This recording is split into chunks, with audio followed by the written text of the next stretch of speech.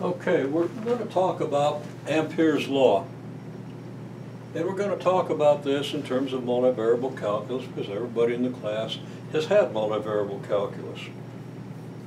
Now, you had it from some fool that didn't teach it enough. But wait, wait, wait, wait, you had it from me, didn't you? Well, okay. Um, uh, be that as it may, uh, you've had it, but you won't really master it until you've used it in subsequent courses. Some people did a much better job of mastering it than others, but until you keep bringing it back and keep thinking about it, it's probably not going to become second nature to you.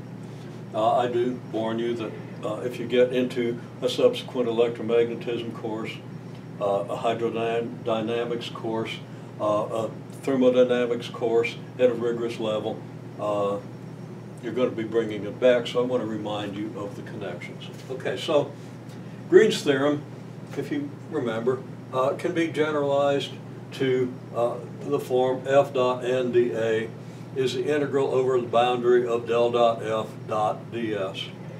Um, and somebody asked about order of operations, and um, if you did f dot ds first, you wouldn't be able to cross the del operator with it. The del operator has to act on a vector, and f dot ds is going to be a scalar, so it wouldn't make any sense to do f dot ds.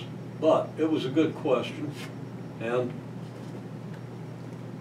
I'll emphasize it by putting a couple of parentheses there. Uh, it only makes sense one way, and that's this way.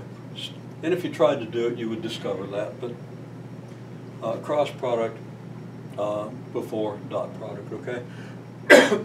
um, and I'm not going to talk about this in detail. Go back and review Green's theorem and its generalization to Stokes' theorem, because really what we're talking about here, Ampere's law, is a, a, an expression of Stokes' theorem. Um,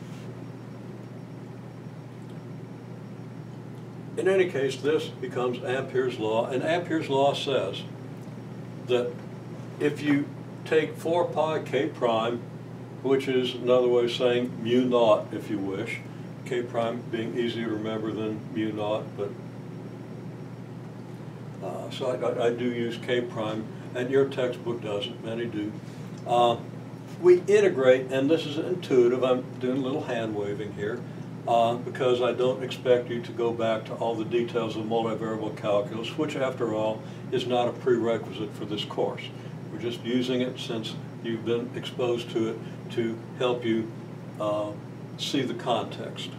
Okay. You take the dot product of the current with the normal vector and multiply by the area.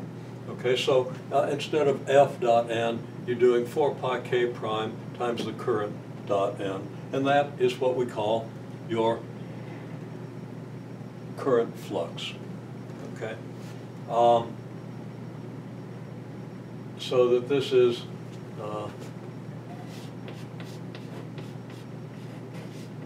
flux of the current. And think of this analogously with the 4 pi k that you use for Gauss's law, 4 pi k times the total charge enclosed, etc.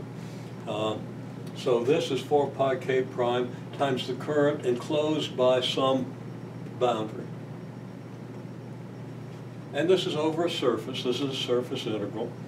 Um, you could use a flat surface bounded by uh, a, curve that's confined within some plane. Um, but you can generalize it uh, where the boundary is uh, more complex, but it's not necessary for what we're going to use it for. Uh, so we're going to really be talking about the integral of the current dotted with a normal vector over a plane region and the boundary being a curve in the plane region. It's going to turn out that the region is a rectangle and the boundary is just the boundary of the rectangle. We'll see that in a minute.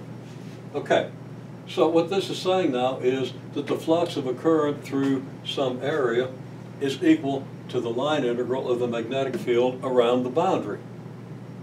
And that's Ampere's law. Um, the flux is 4 pi k prime times the current penetrating the region, which is what you get by the integral of the current dotted with the normal vector.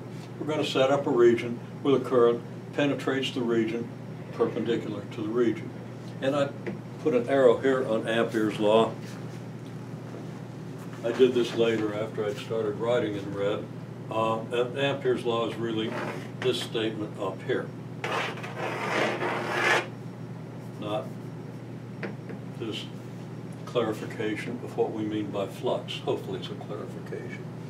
Okay, now, we're going to uh, apply Ampere's law, and we could apply Ampere's law to get the current of a long straight line charge, many other configurations. The one we're going to look at is a solenoid.